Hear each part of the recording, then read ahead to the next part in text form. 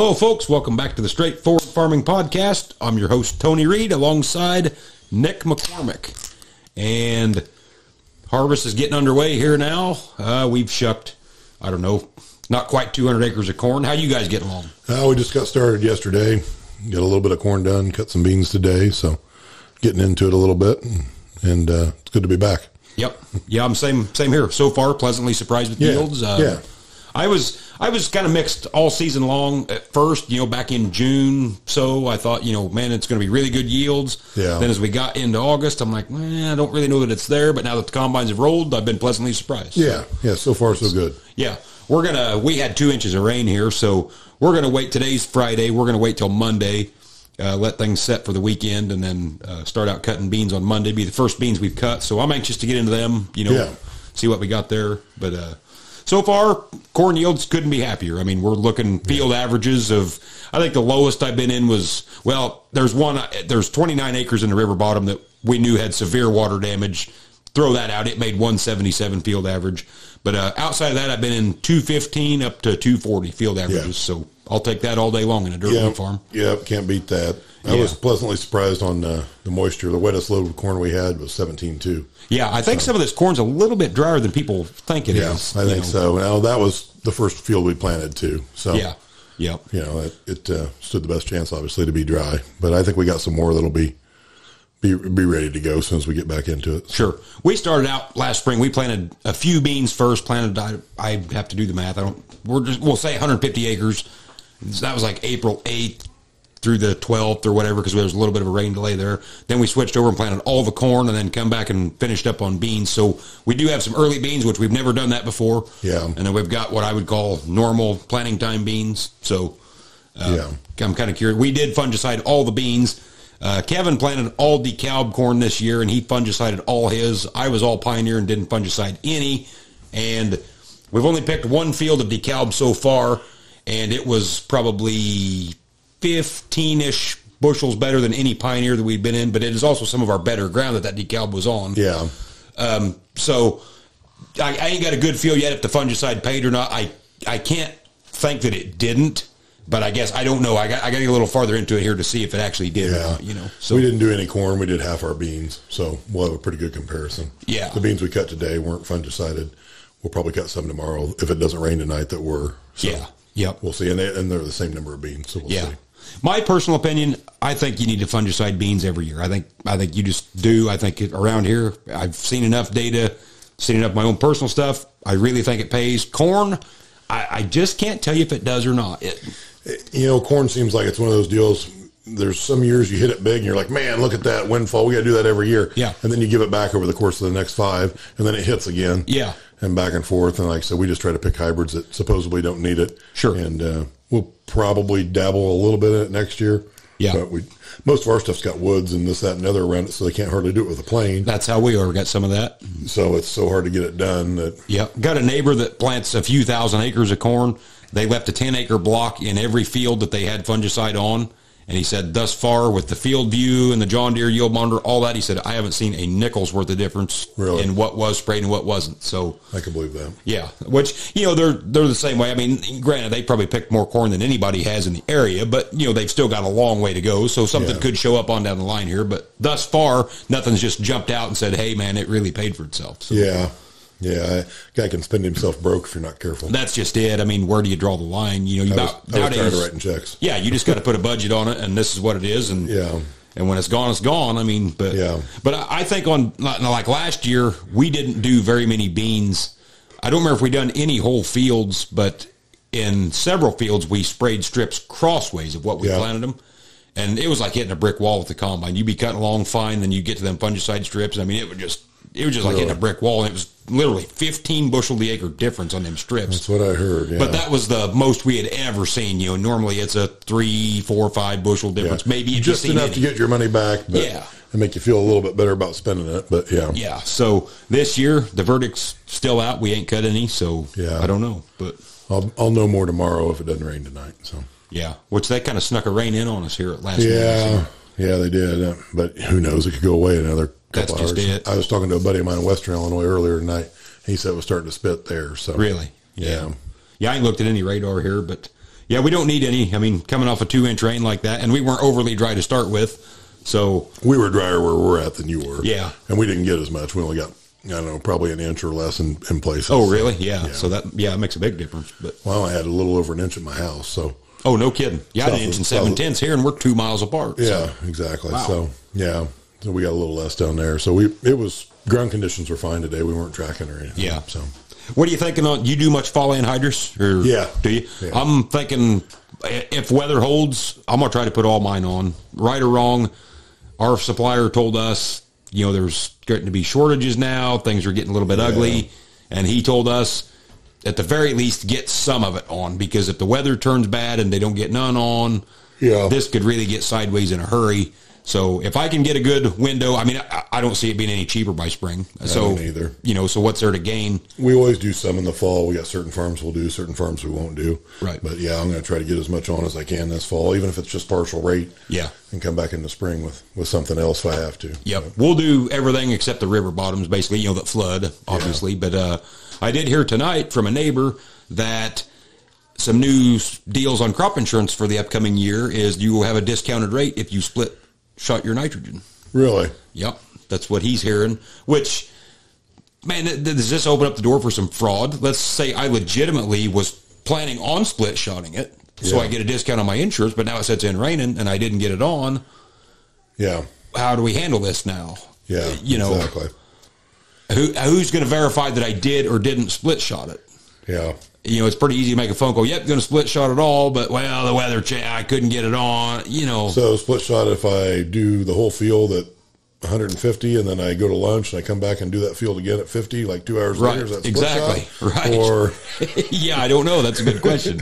and now, granted, this is hearsay through the neighborhood. Um, I mean, this guy heard it from somebody who sells crop insurance. So I mean, he would know, and he's never been a blowhard or one to lie. So Yeah. I would say it's it's probably something to it. But I I haven't heard it from my agent personally. I guess is what I'm saying. yeah, I'll have to look into that.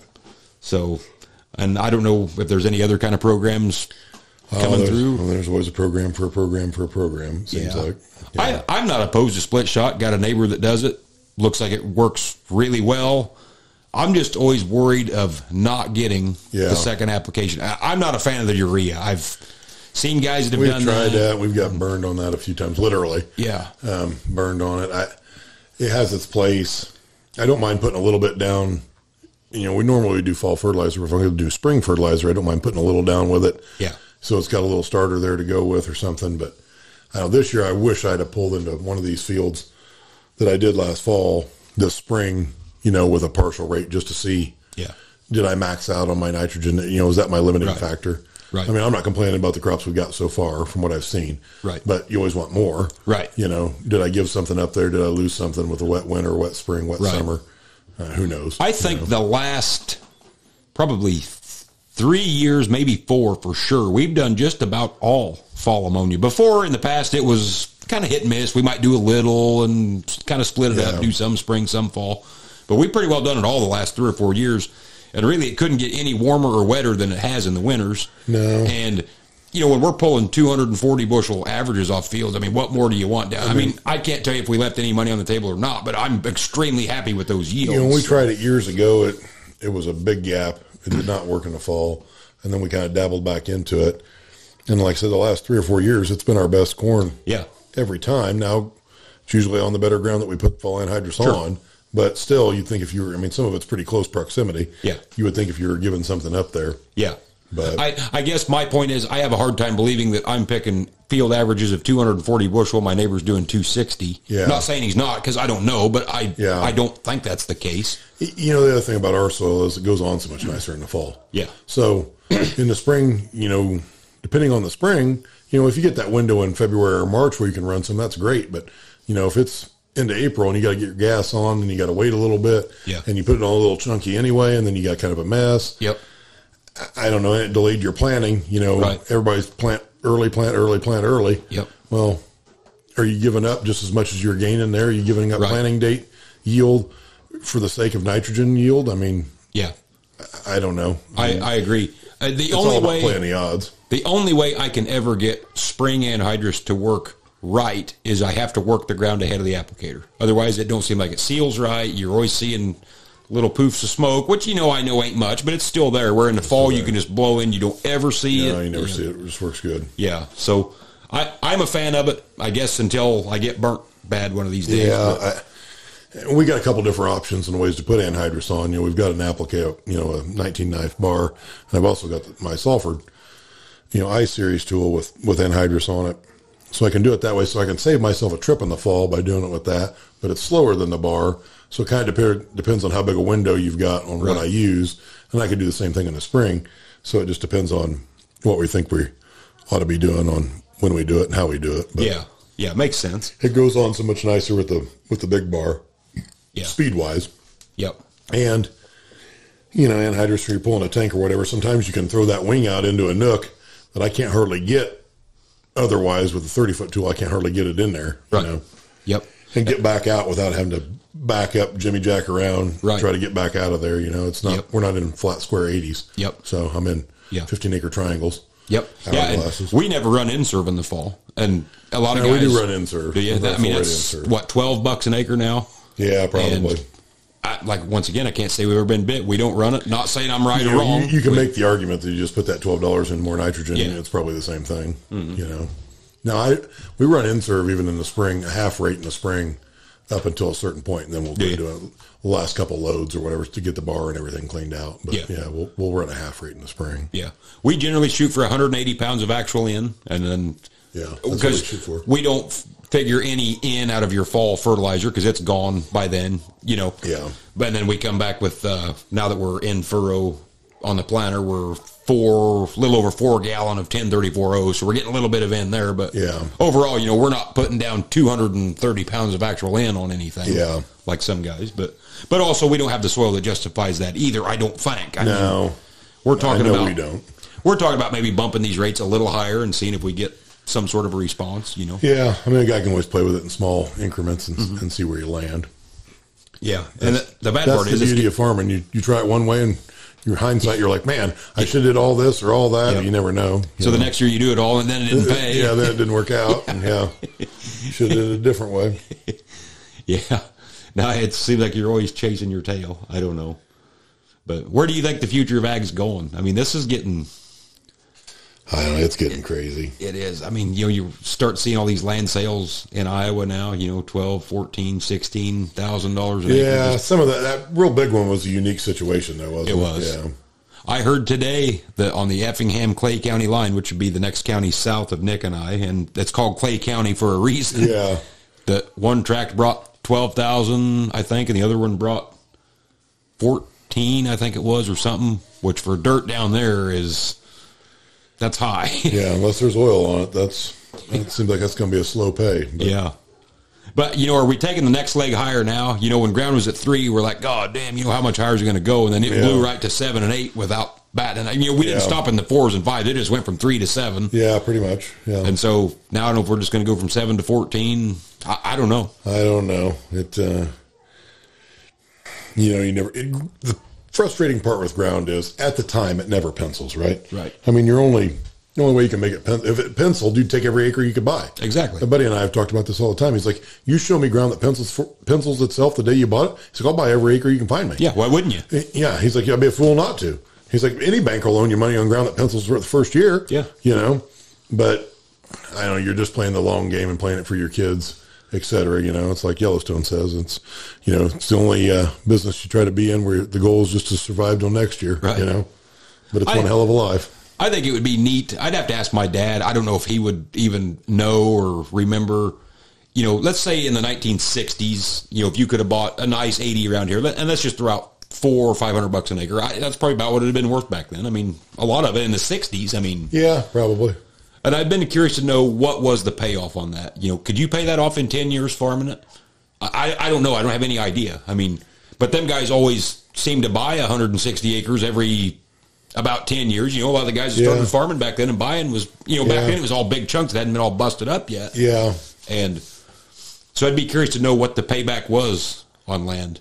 Yeah, I, yeah, you're probably not wrong there. But I mean, I mean, I remember back in the '80s, there was a piece that sold not too far from our home farm, and I talked to a guy that had a chance to buy it, and he didn't farm. He had another business and had recently bought a farm, basically for the woods at the time.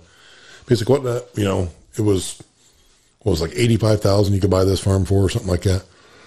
He's like, but corn was like eighty three cents, Right. and, you know, it just it didn't pencil then. Yeah. Now, granted, it was the eighties, you know, so the sixties Yeah. probably would have been better time for that than than the eighties. But it's just crazy to think that back then, for what a pickup truck costs now, you could buy a farm. Yeah, that's just unbelievable. Now it's what the down payment would be. Yeah. and uh, you still got a long ways to go. Yeah. Yeah, if you look at the gap that you and I have seen, which I guess if land keeps climbing like it is when you throw out these Iowa numbers, I guess our kids are going to see it too. But, you know, we literally seen land in the 80s. And, I mean, you know, we were six, seven years old, so not like we were paying Yeah. major attention to this. Yeah, but exactly. Technically, in our lifetime, you know, land has went from probably, what, a low of around a thousand bucks an acre in the 80s once stuff Yeah. got real crazy with Yeah. interest to you know, there's been land around here sell for twelve or fourteen thousand Yeah. an acre. You know, so in less than forty years, it went from a thousand to twelve thousand. Yeah. And so is that the next leg out? You know, is it going to go from twelve to twenty four? I mean, but at some point in time, you can't farm that out of it regardless. I mean, it's bad enough when it's three thousand an acre. Yeah. I mean, yeah, I, don't know where that where that's going to land. You know, Buddy and I talk about this all the time. You know, he's like, my grandpa could buy ground, you know, back in the day, you know, and uh, you know, you could you could graduate high school and your family might have farmed, but you went out on your own. You you picked up a little ground. You know, the neighbor down the street said, hey, you know, farm my ground. You start farming on your own a little bit. You could buy some. You could end up owning Yep. three, four, five hundred Sure. acres at the end of your lifetime, and you started with zero yeah, that's nearly impossible to do now without some tomfoolery. Yeah, you know, or absolutely. some really, really, really good luck. Right. I'm funding it from three other side businesses right. and good and, and I don't mean to beat a dead horse because I know we talk about a lot of this stuff a lot of time in this podcast. But even in the '60s, a, a lot of the guys, not all, but a lot of them had newer equipment. Mm-hmm. You know, a 560, uh, yeah, 806. You know, well, they had to have new stuff. Prior to that, it was horses. Yeah, you know, so there, I mean, there wasn't an old stuff to pull from. The Right. old stuff. Yeah, you didn't go out and say, "Well, I'm looking for an 806 with 5,000 hours." Well, the fucking thing's only been out three years. Yeah. You're not going to find one. Yeah, exactly. yeah, that's what you know. Everybody always laughs. Well, that guy bought a brand new tractor and took a tractor pulling. Where was he going to get a used one at? Right. they only been out for a year. I mean, there, there wasn't any. You know. Yeah. So I, But it, it was funny because nowadays, literally, uh, you know, it's different, I guess, once you're 70 years old and established and have stuff paid for. But for guys like you and I, you're either going to buy land or machinery. You're not going to yeah, buy both. Not going to buy both. But back then, you could. You could buy a little bit of land with a new tractor or new combine, whatever, you know, and you kind of clawed your way through it and it all worked out. But But you could also have a side job that made your down payment on your next farm yeah, pretty easily. Right. You know. Yeah, give you know- some money to live on. You know, you could have a good factory job in Effingham and working at, you know, Yep. World Color or whatever. Yep. And that would, you know, your overtime basically, you could take, keep your normal wage and whatever you, if you were ambitious and willing to work the overtime, your overtime money would be the down Yeah. payment for your next farm. And you Yeah. can buy a farm every two or three years. Yeah. Just We- based off of that. We know guys that have done that. yeah, we got a neighbor that started literally with nothing. Yeah. And he always said, you know, every seven years working at the factory, I could pay for a farm. Yep. Buy 80 acres, have it paid for in seven years, and just keep doing that. Just keep doing that. But now that's not the case. You know, you're not going to go make a million dollars a year working at a factory. No. if you find one of those, you let me know. I'll cover some shifts for you. yeah. So that yeah, it's just definitely changed. But Yeah. I, I would like to know though back then how long it actually took. Let's just you know throw out the side job, whatever. You know, if I was just farming and I bought 160 acres at 400 bucks an acre. Because I don't know what inputs were. I don't even how how many inputs you used back then. You know, anhydrous didn't catch on till the late '60s, I think. You know, there was a lot of stuff that they weren't doing then that we're doing now. Yeah, they weren't spending some money on some other stuff. It was just, I'll never forget the first time I was kind of sort of paying attention. A seed corn guy come in the shop, and that's when seed corn just got to hundred dollars a bag. And this guy was trying to sell my dad on some seed, and I don't even know what he ended up agreeing to buying. Whatever, it doesn't matter. But the guy left. I told dad, I said, "Is that? Did I hear that right? That that seed corn's a hundred dollars a bag?" And he's like, "Yeah." I'm like, "Then why do we sell it for like?" Yeah, a dollar or something at the elevator. He's like, "Welcome to farming." Exactly. I'm like, okay, you know, of course I didn't know the Right. You know, I wasn't very old at the time. You know, it's like okay, you know, you get 150 bushel Right. the one way, and you're only buying. But I'm like, now I understand why you want every kernel out of the damn bag. You want me to shake it three times, Yeah.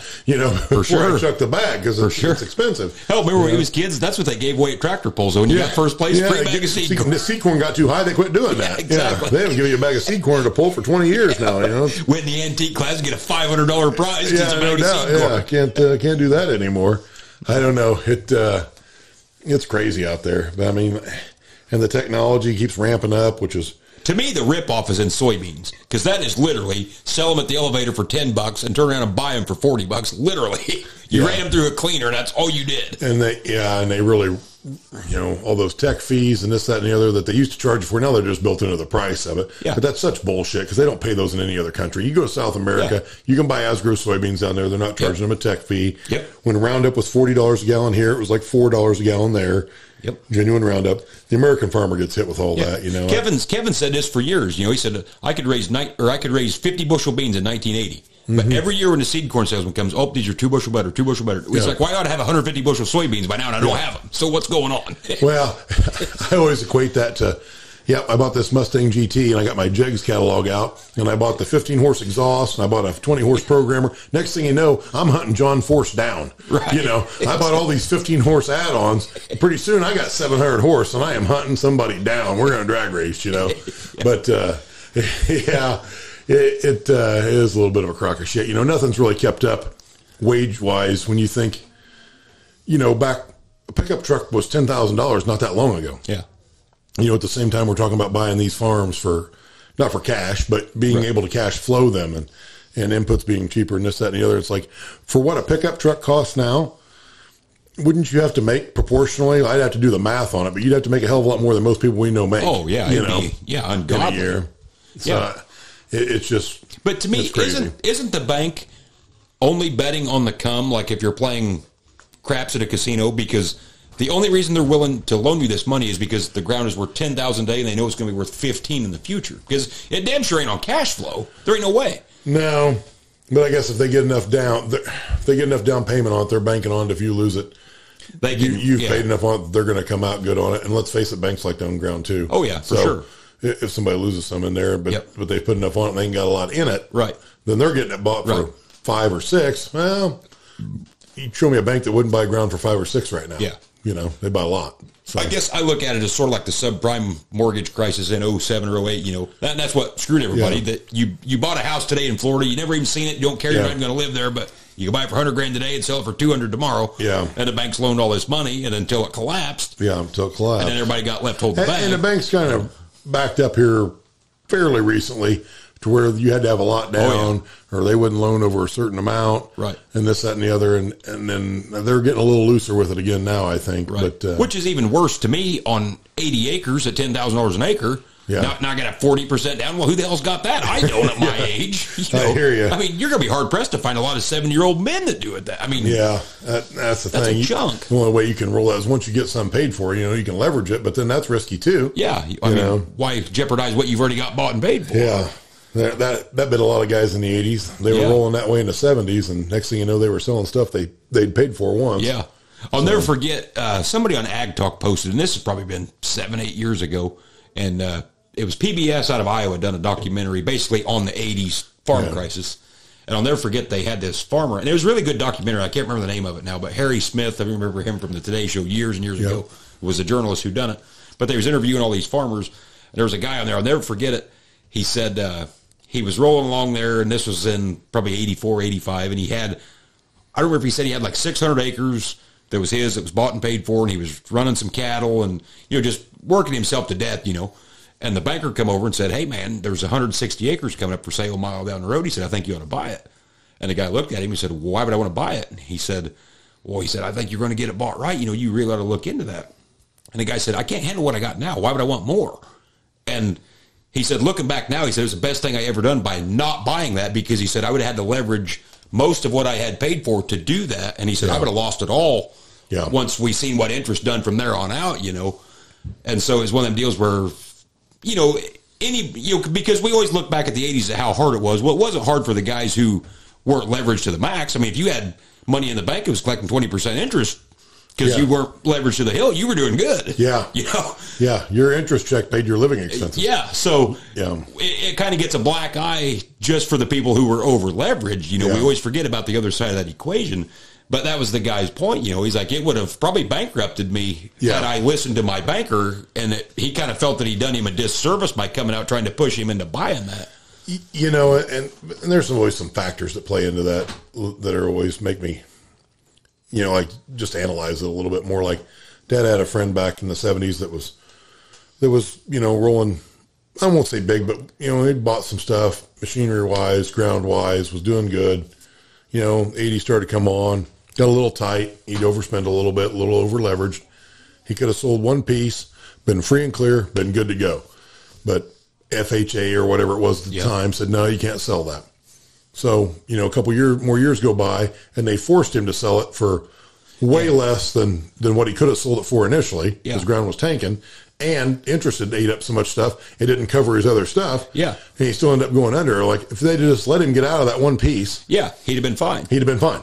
Yep. He'd have, he'd have farmed the rest of his life. Right. You know, because it, it turned around not too long after that, but Yep. by then it was, didn't matter. Yep. You know, Yeah, it makes you wonder how that all because I was too young to remember any of that. I mean, I was born in 1980, but you're not paying attention to that shit when you're seven years old. You the know, only reason I, of course, Dad tells the stories, and then you know what, from being at the dealership with trying to sell tractors to guys, or you know, hearing this, that, and the other, I picked up a little bit more than probably the average person, but I wasn't paying attention to it. Right. But you hear this, you hear the stories at the time; they don't mean anything to you, but later on, you start putting the pieces together a little bit. You know? Right.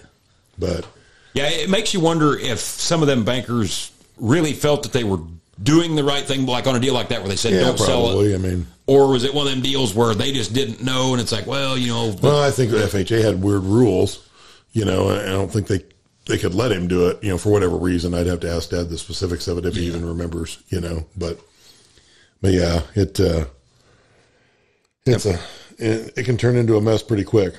I mean, I can't imagine. Could you imagine today on which I know stuff is always proportionate with inflation, whatever, but could you imagine 80 acres, $14,000 an acre, and interest went to 20%? I mean, I, I can't fathom how you would ever dig out of that. I mean, With the inputs we've got today, cost wise, I mean, you're swapping humongous numbers now. if interest goes that high, I think there's a ton of people that can't afford to put a crop out. Oh, I think so too.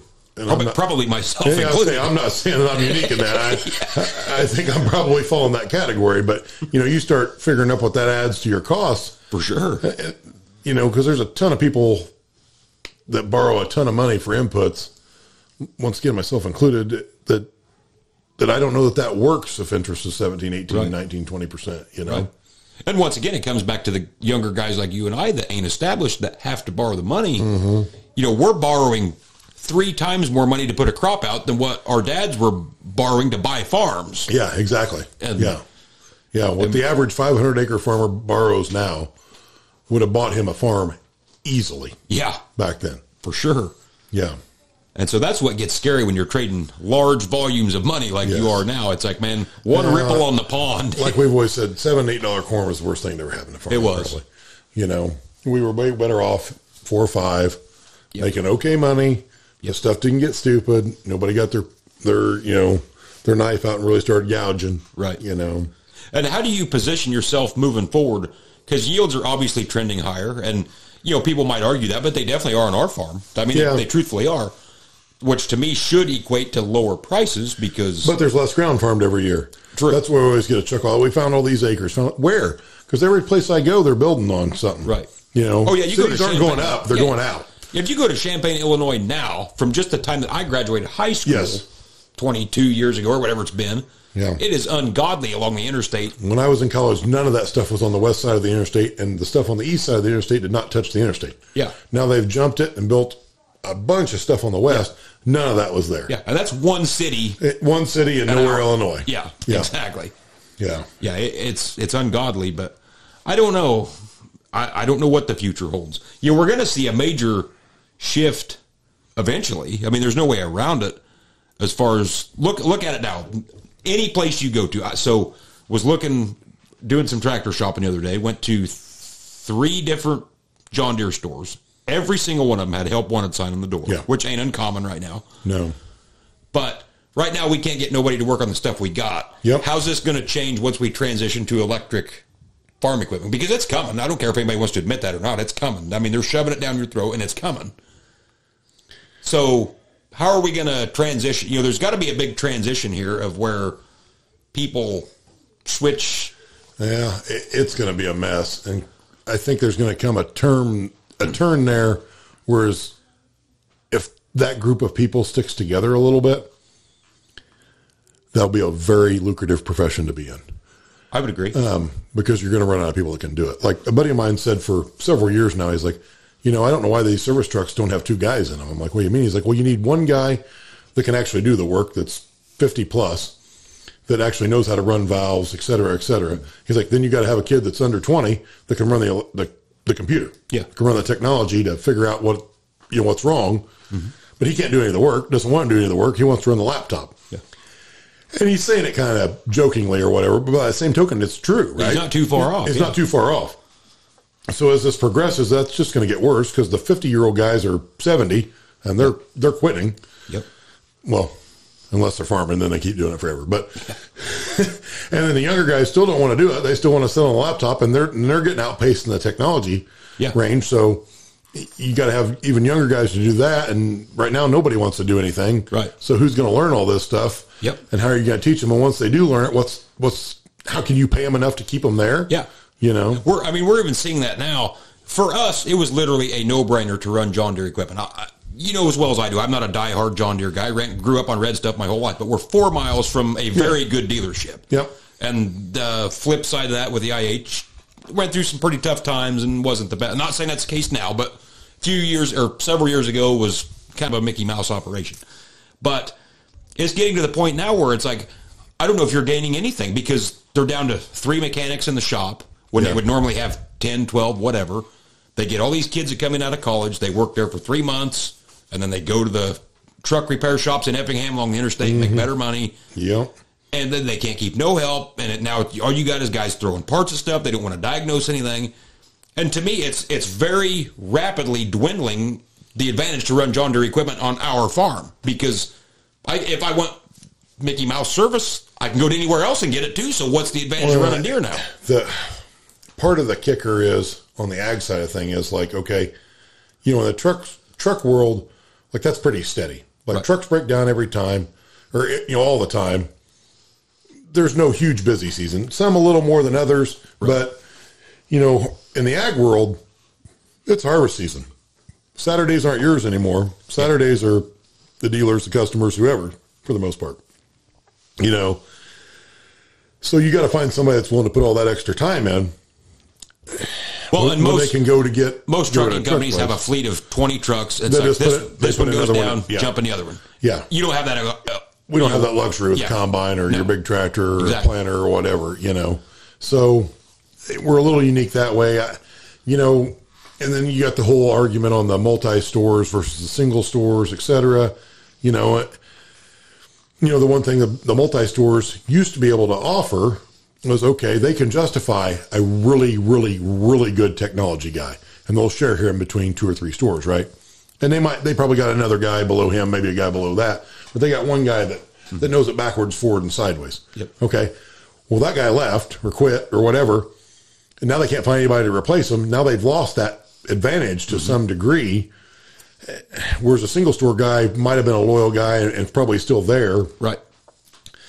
but he's not as good of an expert because he doesn't see as many cases of this, that, or whatever when it comes to technology. And the technology stuff is changing so fast. How do you get somebody that's super, super, super good at that? We're fortunate if you're not using Deere Case, if you're using off-brand stuff, and not, it's not off-brand, but let's say you're just using Trimble, Raven, whatever. Mm-hmm. You know, we've got a phenomenal Trimble guy in our area. Mm-hmm. You know. But he's a one man guy. But that's the reason he's a one man guy. Why does he want to train his competition going forward? Because if he hires somebody, that guy's going to leave start his own business in two years. Exactly. So, but he knows his stuff backwards, forwards, and sideways. But we're running out of those guys. And how do you? Yeah. It, it changes so fast that I don't know that you can train them fast enough, Right. to keep up with it. You know, it's it's very difficult. I was thinking about technology, stupid stuff tonight. Stopped and filled my wife's car up with gas. Remember the days where you could just flip the pump on and pump your gas? Nope. Now you got to prepay at the pump because God dang, somebody's going to drive off. Okay, I'll prepay because I don't want to go in anyway. Mm-hmm. Oh, do you want a car wash? No, I'm going a freaking gas pump. I want gas. Exactly. Oh, do you want to watch TV? The TV kicks on. Where no, I don't want to watch TV. It, you've wasted four minutes of my time, and there hasn't been any gas come out of this damn pump yet. Yeah. I just want to flip the switch pump the gas. I- no I- technology. I'm like in some ways is great, but it hasn't helped my. It slowed me down at some level. I'm like, Yeah. I, my tank had been full. I'd been back on the road by now in the old Yeah. days.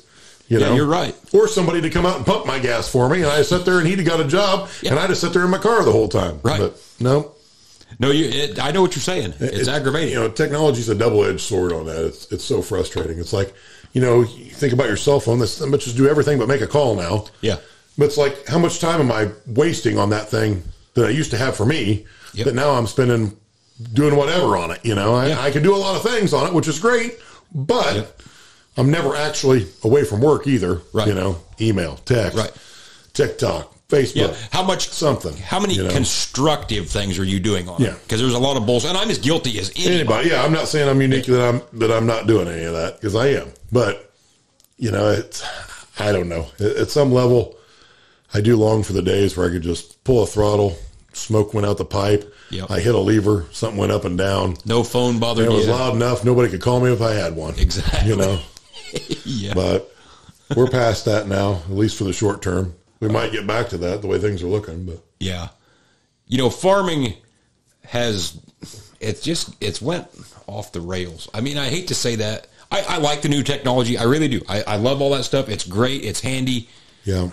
But man, I, I think we've talked about this before in a podcast. It makes you wonder if the class five or six combine should have been the biggest combine anybody ever made. Yeah, And for sure. and I- I'm not knocking big farmers. I don't want anybody that farms several thousand acres listen to this because I'm not. I'm No, I get why they want the big machines, and help's hard to find. And we just said you can't find anything to work on it. damn. I think we're under attack. But uh, you know, so I don't know. It uh, it just keeps getting bigger and bigger and more and more out of control, and I'm not sure. You know, you and I probably can't do anything to stop it. It just is what it is. But Yeah. It, it's, I don't know. I don't know how you fix it, how you unwind it, because it's obvious when a combine costs a half a million dollars or a million now, the new Yeah. X9, you got to spread that over more acres, you Yeah. know? So I, and you just want to see a mad guy have his million dollar combine go down, nobody to fix it. Yeah. like he's not going to be very happy about that, and I don't blame him. yeah, you know, but at the end of the day, if he's got a million dollar combine, he probably ain't got a spare. you know? exactly. He's probably not going to hop out of that, fire up the old 6620 and, and get after it. So he's Right. still getting something done. You Right. know, no, he's on the phone yelling at somebody. Yeah. If there's anybody there to pick up the call to answer it, Yeah. know? Yeah. That's So, the next problem. It, I don't know. Uh, we got to get this country back to work somehow, some way. Well, and you know, I've read that report too that because I don't know about you, but I can't I don't know of anybody who's worth their salt that don't have a job. You've always got the deadbeats that have never had a job Yeah. and never gonna have a job. Yeah. But anybody that's always had a job, everybody I know has a job. And they talked about when COVID hit, you know, the baby boomers are like, fuck it, I'm out. Yeah. You know, the, say you had a guy that was 62 years old driving a truck and COVID hits. He's still an essential worker, so he can drive, but when he gets to the truck stop, all he can do is get fuel. He can't go in and take a shower, get a hot meal, whatever. Yeah. After a couple weeks of that, he's like, "I'm screw this, I'm done." Yeah, and he I'm just done. retires. So now you take all these baby boomers offline and nobody else to step up to fill Yeah. their shoes. So I don't know how you fix this moving forward because now, you know, you got local trucking companies around here willing to pay people $25, $30 an hour for just a day driver, not an over the road driver. You know, I've thought for a while throughout this, I'm like, now would be a magical time to be getting out of high school. Oh, for sure. I'm like, your chances, you know, like you want to go to FedEx for a part time job, you start at the max wage. Yeah. A wage that it took other guys three, four, five years to get to. You can start there tomorrow. Yeah. You can pass the And work test all you want. And work all you want. Yeah. It'll be a full time job if you're not careful. You know, and several other companies the same way. Like you can do about anything you want. You know, it's like Yep. you pull into a fast food restaurant, you're just hoping if the speaker kicks on. Yeah. You know, otherwise, you know, there might be somebody in there. He's just there to fuck, shut the lights off. Yeah. You know, that, you know, it's it's a mess all the way around. I really do think this is where, especially like in fast food, and I said this a long time ago before COVID ever even hit. Eventually, McDonald's, you don't have enough people going in McDonald's to justify staying open. You don't. I mean, the local one we go to, the cars are literally wrapped all the way around the building at noon. Nobody wants to go inside. And I think now you're going to, the next time you see a McDonald's in this area remodeled, they're probably going to knock off the dining area because you don't need it. Everybody wants to go to the drive up. You got three guys that are drinking a 95 cent coffee Yeah. that you made zero money on. You're not wrong. It's going to go the way of the playground. Yeah. You know, for a while we had Yeah. a playground to get you inside. Well, Yep. then we realized nobody was going to the playground, so we nipped them off for other space. And yep. You're not wrong. I mean, some of those businesses, you know, like we've got a local place here that's a double drive through and has been, that was their, that was their go to Yep. 25, 30 years ago. And it, for 20 years, we said, well, if they just had a lobby, if you just had a place where Yeah. you could sit down, now it's like, oh, well, they don't need that now. Yeah, now they they're were ahead of killing their it. time. Yeah, they're, Yeah. they're ahead of their time. They're killing it. You know, uh, they don't have to clean the lobby, and nobody's going in anyway. Yeah. So I don't know. It's a mess. Oh, you know, we were talking to here a while back and even heard it from one of our marketing guys. You know, let's just throw out the whole climate change deal. I don't care if you believe in it or don't. It's honest and we're going to get forced into it regardless. It's coming because the Farm Bureau, none of these groups want to do anything to combat any of it. They just Yeah. go along to get along. And so it's here. And that's going to majorly change the landscape of how things are done in America from farming to everything Yeah. you know, I, and I would like to talk to somebody in depth that actually knows, you know, not fake news or just people's opinions. So, like, their big thing is we got to start conserving water. Okay, so how does that affect guys like you and I? Because all we're counting on is rain anyway. Yeah. I, I, I can't I can't ask for more. I can't take less. I mean, I Yeah. get what I get. Get what I get. Yeah. So, you know, how are you going to do a one size fits all? I, I, I understand, I guess, if you're irrigating, that they can control that. Well, Tony, they'll do it the way the government always does it. They'll throw down some general rule that doesn't really fit anybody, and Yeah. they'll screw a bunch of us, Yeah. and then it'll just go on. Right. And then a few years later, they'll say, "Oh, we, we got to rechange this program. We didn't do that right," and then Yeah. they'll screw it up even worse the next go round. No, That's you're how it right. That's goes. it's exactly how it goes. But those guys that irrigate, if they start shutting them off, I mean, there's places. Well, we got one in Illinois. You shut them off from irrigation, they literally can grow nothing. right. Nothing. I mean, that, that ground's wasteland at that point. Yeah. You know. And is this the? I, I don't mean this to be a conspiracy, whatever. But is this is this all going to fall into the fact? Okay, we knock ethanol offline because we're going electric, so we don't need 93 million acres of corn. Yeah. So all you guys are irrigating, you're done. Fuck it. So now the guys like you and I that weren't irrigating to begin with are like, well, you guys can go ahead and grow corn because we still need X amount for feed or whatever.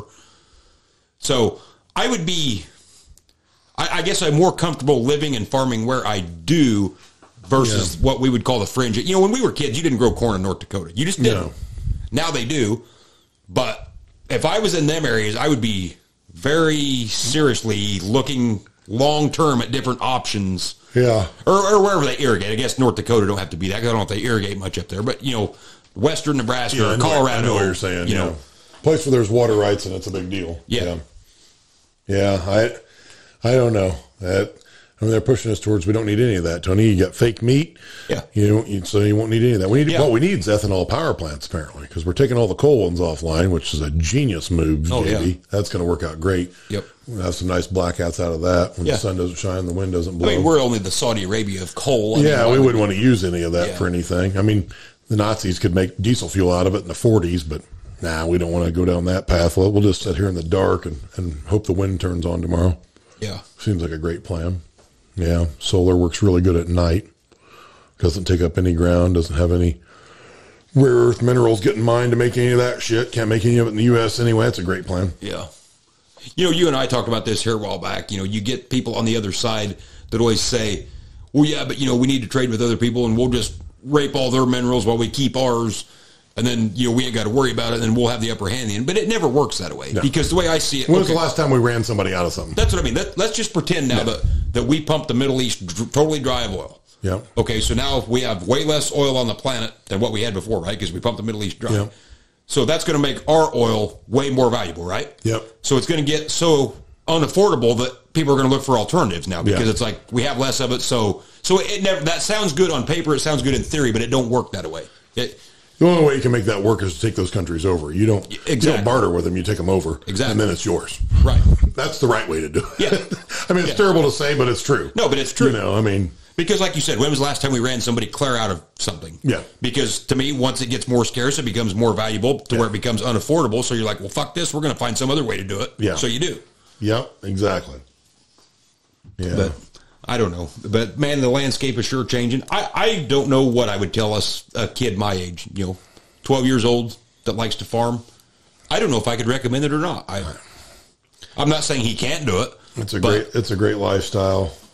But man, the the stress of it's getting to be more and more every day and I, I just don't there's easier if you're looking for an easier path, there definitely are easier paths. Oh, yeah. You know, that take way less capital investments. Like, you know, people nag on farmers, well, you know, you got you guys got this new truck or this new combine. Yeah, okay. By the same token, you find me another job that requires in this day and age, you don't have to have a four year education, but it doesn't hurt for some for some things. Okay, that's fairly expensive. And takes, okay, you want to farm thousand acres so you can be somewhat a full time farmer. Mm-hmm. Okay. How many millions of dollars is that ground worth? Right. So you got to have that. Whether you're renting it or buying it, somebody owns it. You, it's tied into the operation somehow. You need a couple million dollars worth of equipment. Mm-hmm. You know, I always joked when I was a kid, you send somebody to the farm progress show or farm machinery show with a million dollars, you couldn't come home with enough stuff to farm. Well, that's not even.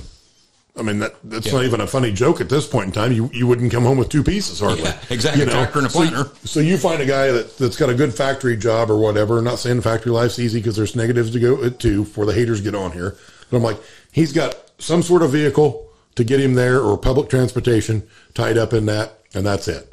You know, he didn't have to tie up Mm-hmm. Right. two million dollars worth of machinery to try to make that 50 60 100 grand whatever whatever number Yeah. we're shooting for salary wise Right. and he doesn't have the the variability of well this year you might make 30 next year you might make 130 year after that now they might be selling you out because you made 10 Right. you know things And went the bad part- and you didn't make shit The part that the people on TikTok or the social media never see is you got to play the tax game. Okay, Yeah. so this year I had a great year. I made a hundred grand, which you're 150. Pick your number, which is you know more than the average guy. But guess what? The tax man cometh. yeah So do you either upgrade that tractor, Yeah. so you don't pay as much in taxes, which in turn supports jobs at John Deere or wherever you bought it from, or do you just eat the taxes and write the government a big old check and they piss it away in ten And- seconds, literally? yeah, and nothing yeah Hey, and you give weapons to the afghans Yeah. Yeah, I, eh, it's such a shitstorm on that, you know, and, and good tax preparation is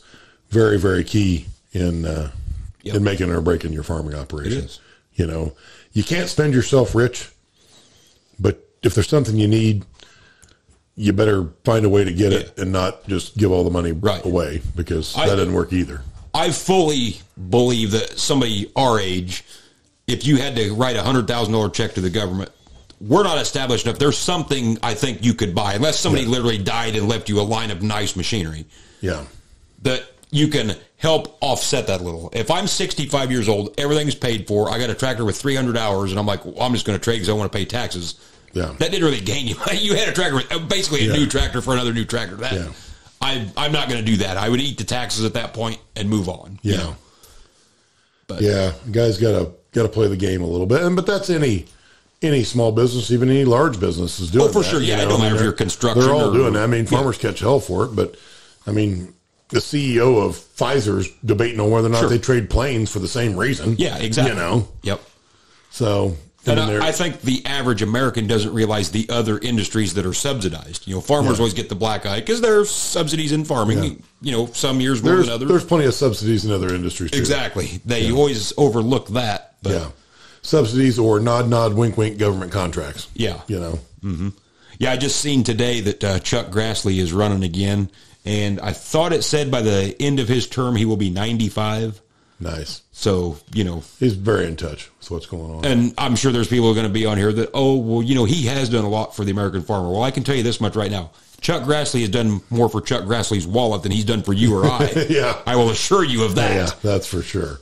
because when you're that age with that kind of money, don't you think it'd be time to step back and enjoy the grandkids and maybe live life Yeah. a little bit? I mean, what what other job on the planet do you work until you are literally hundred years old? You remember Strom Thurmond, Yeah. the senator, was in a fucking wheelchair, Yeah. wheeling him down the aisle.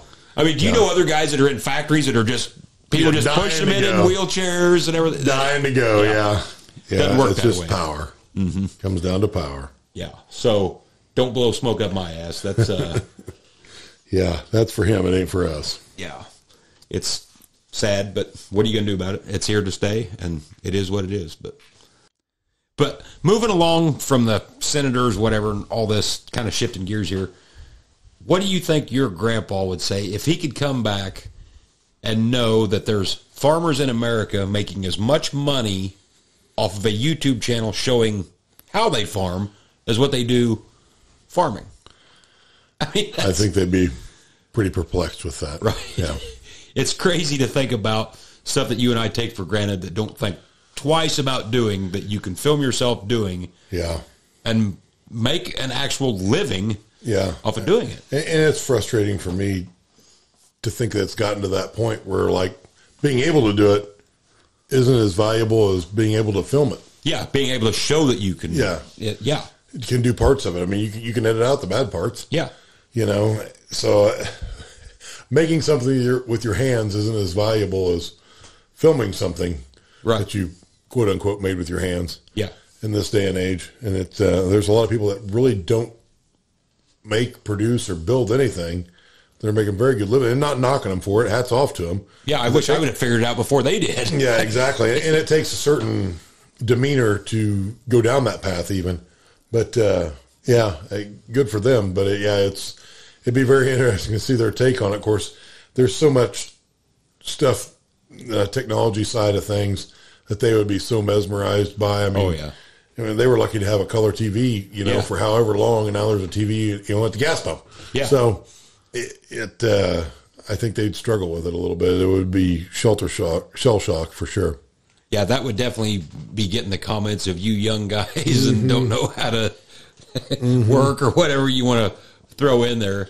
Yeah. Yeah, it would be it would be mind boggling if you could just bring somebody back that died in 1979. Well, you remember those old movies, and I can't think of the name of one off the top of my head, but you know, there's some time travel involved or whatever, and there's all the stuff that's changed, you know, or whatever. Like the one with Sylvester Stallone, I can't think Demolition Man or whatever it was. You know, I never knew figure out the three seashells thing, but you know, the stuff that changed in that, which some of that's come to fruition to a certain degree. You know, we're, we've seen some of that now. It's like, yeah, it just I don't know that your mind can handle it. You know, a little bit at a time, you can ingest it a little bit, but to see it all at once, one fell swoop, if you move from 1970 to Yeah. 2020, They I don't know, it'd probably blow your mind. they would be more shocked to come from 1970 to now than if you dropped you or I in 1850 Yes. by Yeah. a landslide. Yeah. You know, Yeah, for sure. It's just nuts. But I always remember, you know, growing up in school, they always told us, you know, of course there was no cell phones, nothing. I'm talking we was in like second or third grade. And I remember teachers telling us back then that someday you'll be able to pick up the phone and see the person Yeah. that you're talking to, you know, and Yeah. it, it sounded weird at the time, but it, they were spot on. I don't know. Every time I bump that button on my phone, it tells me this person can accept, cannot accept video calls. Is that right? But you're right. You know, of course, by the same token, they always tell you, well, you got to learn this. You're not going to have a calculator with you all the time. Joke's on you. Exactly. I do have one all the time. yeah. Yeah. it's amazing how cell phones when they first come out was so handy because now man i can talk to anybody you know if i have car trouble whatever to where it's went so far now that it's become a burden it's like man you just soon burn this thing I mean, And, you get so reliant on it, like the calculator thing. The other night, I was at the concession stand, and and it was a young girl, but my total for my goods was two fifty. I gave her a five. She turned to the other girl. She's like, "He gave me a five. His bill's two fifty. What do I give him back in change?" Right. And I'm like, 250 yeah And she looked at me like I was cross-eyed. right and, that's know, what you get that's what you owed me you know i don't you get yeah She looked at the other girl. and She's like, she just nodded, looked at me, and laughed because she was a few years older than than this. other- And this this girl was not super old, you Right. know. So, but it's still, it's like that's fairly basic math. I'm Right. like five minus two fifty. I'm like, we're not. Ta- I didn't ask you to do like Right. any sort of calculus in there. But you know, we're to that point. You get relying on it, you know, and and it does dumb you down on some level. And I'm as guilty as anybody. You know, auto oh, steer yeah. quits on a tractor. I mean, Yeah. I I can still do it. Don't get me wrong. That's how we grew up. But it's like, man, you don't want to. I mean, My brother always jokes that auto steer failure is not an emergency in the in the service world. You know, and he's right. It's not. he's not. I, I got a friend. who's like he's a tech, and he's like, you know, guys will call him. Hey, I got this auto steer problem. Da da da da. da You know, I'm down or whatever. He's like, what you're going to want to do is look in front of you. There's this round black thing. If you turn it, that tractor will drive. You're going to have to do that till I can get there. Oh, yeah. I, how soon do you think you're going to be here? I, I, I got some things I could do. I'll just park for a little bit. You know, uh-huh. It's like, and I'm, you know, I always used to joke that it was the air conditioner, right? Like, Yeah. the air conditioner quits. That's crisis lockdown. Like, wheels can be falling off of it. Right. We haven't had the hoods on for three years. Air filters laying in the shop. Yeah. But if the air conditioner quits, bam, we're done. now it's the auto steer, you know? Yeah. Which some Which- of that stuff I always say they ought to tie into the air conditioner and the auto steer. Exactly. It's like, hey, you're low on oil. I don't need an alarm for that. Just kill the air conditioner and the auto steer. That guy's stopping for sure. Exactly. Which now You hell, I had to call you during planting double crop beans because it is a crisis. When you can't open the windows. You can't open the windows. You're just done. Yeah. You are in a greenhouse. I mean, Yeah. it's like You look like a drowned rat when I got out there, and you hadn't been in there that long. It's like, yeah, but I feel your pain on that. But air conditioner quits, so do I. yeah. If you'd have told my grandpa that, you know, you got to quit when the air conditioner quits. I mean, he looked at like you, like you had two heads. I mean, Yeah. what are you talking about? Well, for starters, if you do open the windows in any of my tractors, I'm going to be pretty upset.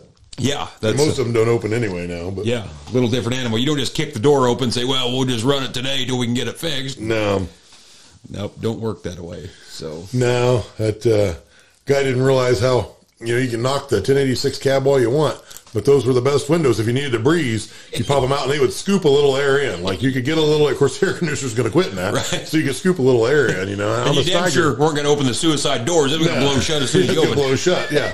Now Hesston was ahead of their time. You could latch those doors like four inches open. Oh, really? little rods that flipped out, so you could scoop the air in on those. No kidding. And then the the side windows opened up, and the back one, of course. I'll be dang. Now, they were ahead of their time on that. You could latch the windows or the doors open like four or six inches or whatever. Yeah. I'll be damned. And they and they. I mean, it didn't rattle or anything. There was a little deal. You screwed it tight.